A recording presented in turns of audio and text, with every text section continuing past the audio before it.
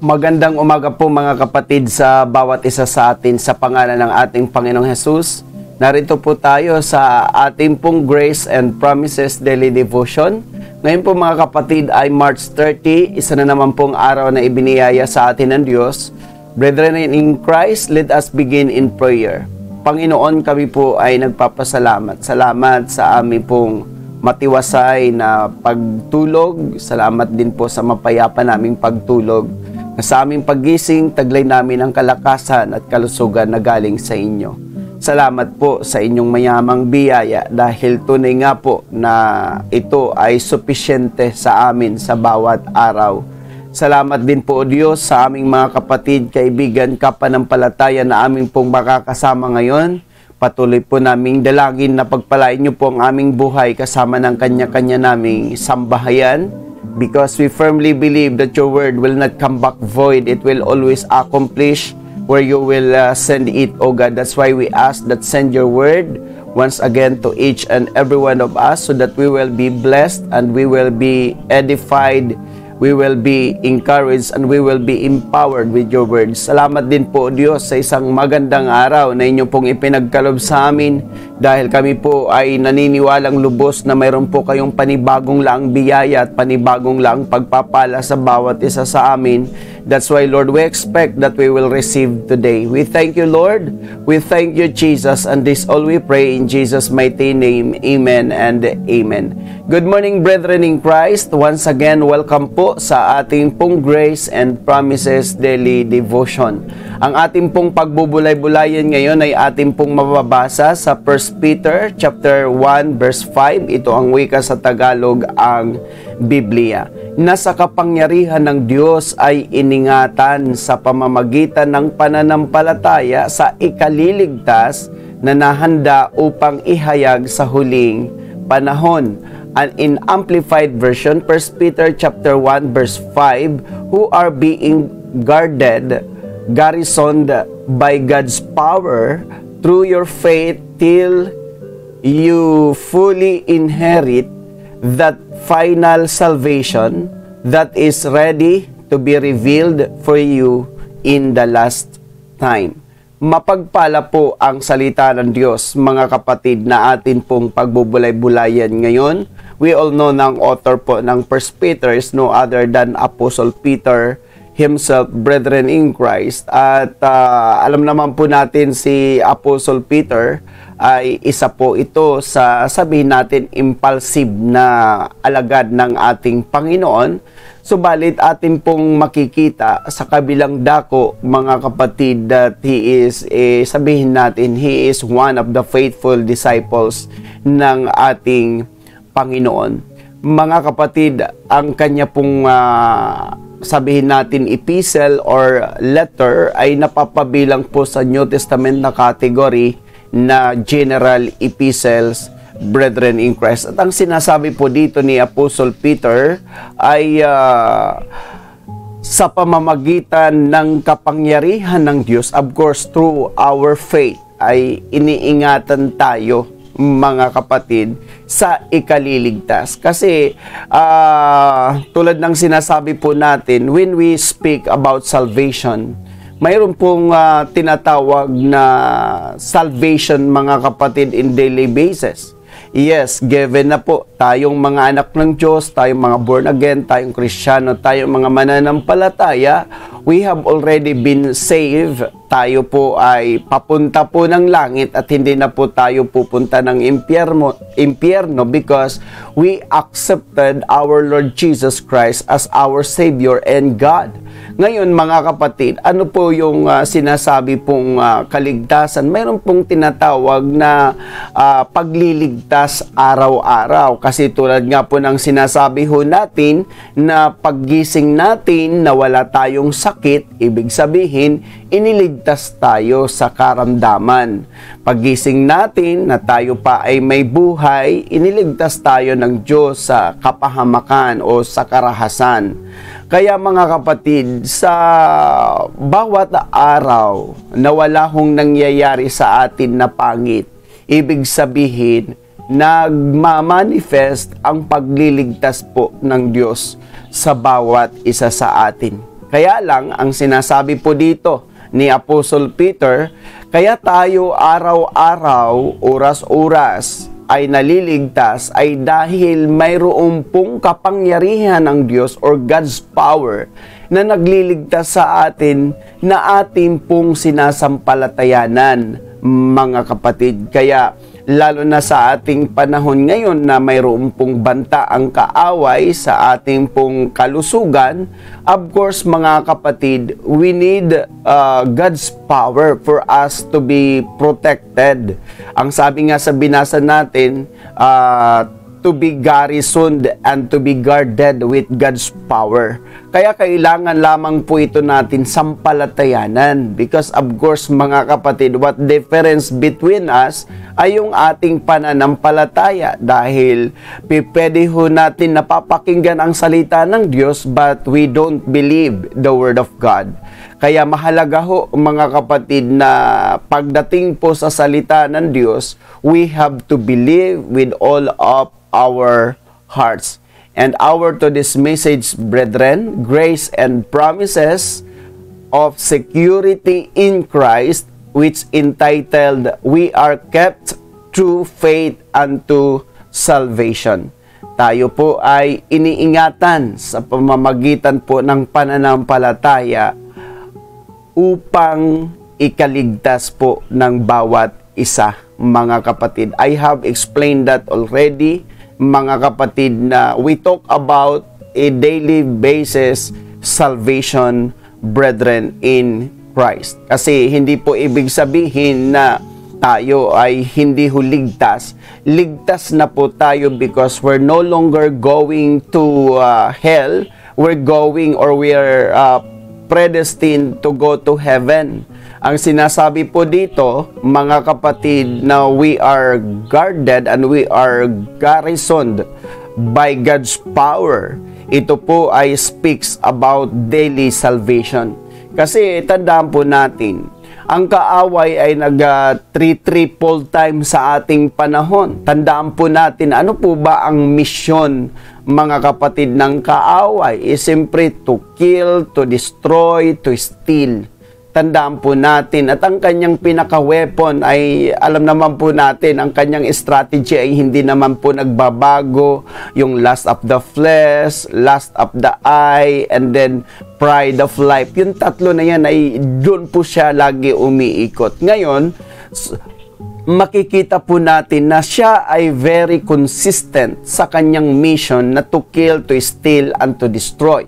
Kaya lang tayo na mga anak ng Diyos, tayong mga born again, tayong mga Kristiyano, tayong mga mananampalataya, why we are not, uh, sabihin natin, affected because we are guarded with God's power through faith, brethren in Christ.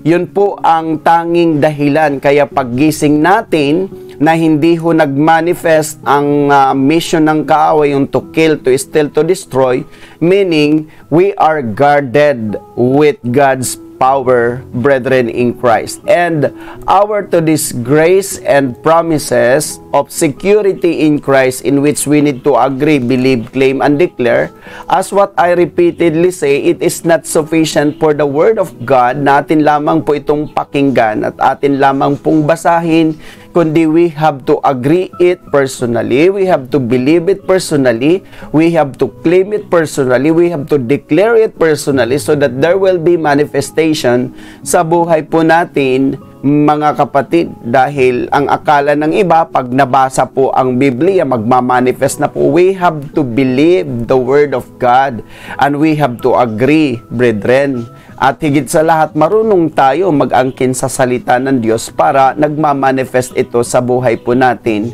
mga kapatid. And this point of time, we are going to tackle the four G's, brethren in Christ, kung paano po tayo uh, ginagabayan o paano tayo prinoproteksyonan ng kapangyarihan po ng Diyos. First point, we are being guided by God's power tandaan po natin, uh, naniniwala ho ako na wherever we go, God's power is guiding us.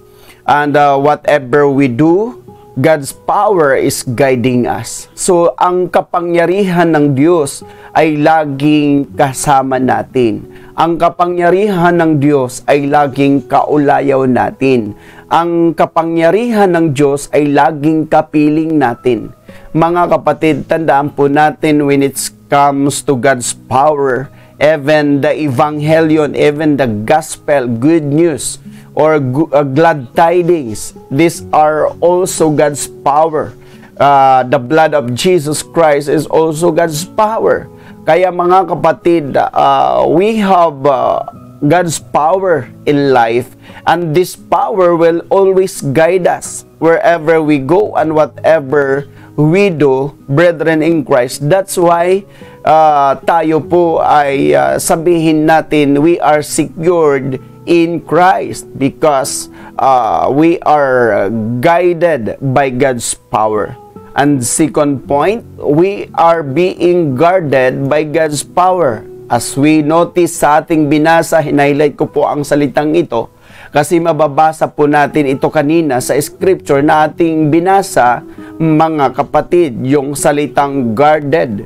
Pag sinasabing guarded, mga kapatid, uh, talagang, uh, di ba, kung ating pong i-illustrate, kapag ang isang tao ay may bodyguard, kahit saan siya pumunta, sumusunod ang kanyang bodyguard at ang bodyguard ang bahala sa kaligtasan, sa safety ng kanyang uh, gina, ginagardan mga kapatid. So ganun din po, if God's power is guarding us. Kahit din saan tayo pumunta, sinusundan tayo ng kapangyarihan ng Diyos dahil ang responsibilidad ng kapangyarihan ng Diyos ay ang ating kaligtasan at ang ating seguridad, mga kapatid. Kaya uh, we have to be, uh, sabi natin, calm, we have to be uh, peaceful, we have to be, uh, sabihin natin mga kapatid, uh, maging at ease. Why? Just because we know and we know that we are guarded with God's power, brethren in Christ. At point number three, we are being garrisoned by God's power. Alam niyo po kapag binasa po natin ang uh, garrison, sa Tagalog, binarikadahan. Parang ganyan. Ang hirap ng Tagalog, binarikadahan. Uh, kapag nakikita ho natin, mga kapatid, ang isang lugar at ito ay nakabarikada, meaning ito po ay off limit. Walang pwedeng mag-trespassing. Ibig sabihin, mga kapatid, talagang because we are garrisoned with God's power of limit ang kaaway sa ating buhay. Kaya di ba po sinasabi ng Bible, that's not my anointed. Why? No one can touch us, even harm cannot approach us, cannot come near to us, is because we are garrisoned by God's power. Tayo ay binarikadahan, mga kapatid, ng kapangyarihan ng Diyos. Kaya ang kaaway ay off limit sa ating mga buhay. And then fourth point, brethren, we are being guaranteed by God's power. Biruin mo mga kapatid hanggang sa binasa natin kanina, hanggang uh, sabi po dito, salvation that is ready to be revealed for you in the last time hanggang po sa ganap na pagliligtas ng ating Panginoon mga kapatid until the end times ay naroon po ang God's power sa atin. So this God's power is also our guarantee mga kapatid na tayo talaga po ay uh, magkakamit ng uh, kaya tinatawag na final salvation kasi uh, ngayon para bang sabihin natin tayo ay ligtas but we could not say na final na at saka total pa kasi nandito pa tayo sa mundo. Uh, subalit, atin pong makikita mga kapatid, ever since that we accepted our Lord Jesus Christ, Jesus Christ, we have been guaranteed by His power mga kapatid. Kaya kung tayo ay nagtataglay ng kapangyarihan ng Diyos we have nothing to worry, we have nothing to fear because this God's power, brethren in Christ, will guarantee us na ito ang magsisecure sa atin, ito ang magko-cover sa atin, ito ang magliligtas sa atin, at ito ang mag-aadya sa atin sa lahat ng lalang ng kaaway, sa lahat ng gawa ng kaaway, at sa lahat ng plano ng kaaway, at sa lahat ng balak ng kaaway, mga kapatid. To sum up of our today's message, grace and promises of security in Christ, which entitled, We Are Kept Through Faith unto Salvation. And our to this grace and promises of security in Christ, in which we need to agree, believe, claim, and declare, we tackle the four G's, brethren in Christ.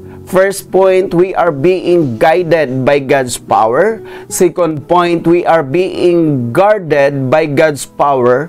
Third point, we are being garrisoned by God's power. And fourth point, we are being guaranteed by God's power. And these are the four G's, brethren, guided, guarded, garrisoned, and guaranteed by God's power.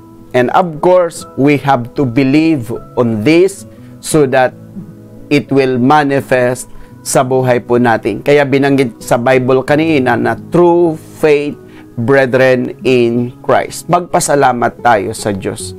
Lord, we thank you so much because we have been kept by, by your power through faith, Jesus.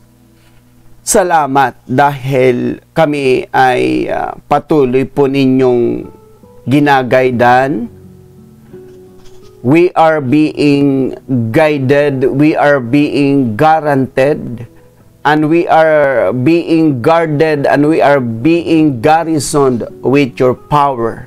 Salamat, Jesus, and uh, it make us assured, Jesus, na hindi po kami magagalaw ng kaaway. It will uh, assured us, Jesus, na hindi po lalapit ang anumang kasamaan sa amin dahil ito ay nagbibigay sa amin ng uh, kasiguraduhan na kami ay ligtas at uh, protektado sa inyong presensya. Salamat Jesus sa kapangyarihan mo na inyo pong ipinagkaloob sa bawat isa sa amin. Salamat dahil tunay nga po na ang tanging hangad mo sa amin bilang iyong mga anak ay ang aming kaligtasan at ang aming kapakanan, Panginoon, at pawang sa ikabubuti ng bawat isa sa amin. Salamat din sa patuloy po ninyong pagpapala sa amin spiritually, intellectually, emotionally, physically, materially, financially, in all aspects of our lives. Salamat din po sa uh, patuloy po ninyong pagpapala sa amin Panginoong mga kapatiran, lalo na sa aming may mga negosyo, ay i-bless nyo po ang kanilang negosyo sa aming mga kapatiran na mga nagtatrabaho, i-bless nyo po ang kanilang trabaho sa aming mga kapatiran na mga nag-aaral, i-bless nyo po ang pag-aaral sa aming mga kapatiran na mga nasa kanya-kanya lamang bahay, anuman po ang aming ginagawa, pagpalain nyo po, Panginoon. At wala isa po kayo sa mga anak mo ang hindi mo pagpapalain, God. Salamat din sa isang magandang araw uh, uh, na ito dahil patuloy po naming tatanggapin ang iyong laang mayamang biyaya at inyong laang mayamang pagpapala sa umagang ito. That's why throughout the day, kami na naman po ay magiging successful, prosperous, victorious, triumphant, favored, blessed, at higit sa lahat, we are protected sa buong araw na ito because we are covered with your precious blood. We are surrounded with your angels and we are bearing your powerful name, Jesus. Salamat, salamat sa lahat ng bagay. We thank you for the finished work of our Lord Jesus Christ on the cross of Calvary. Thank you for everything what you have done in our lives. And this we pray in Jesus' mighty name. Amen and amen.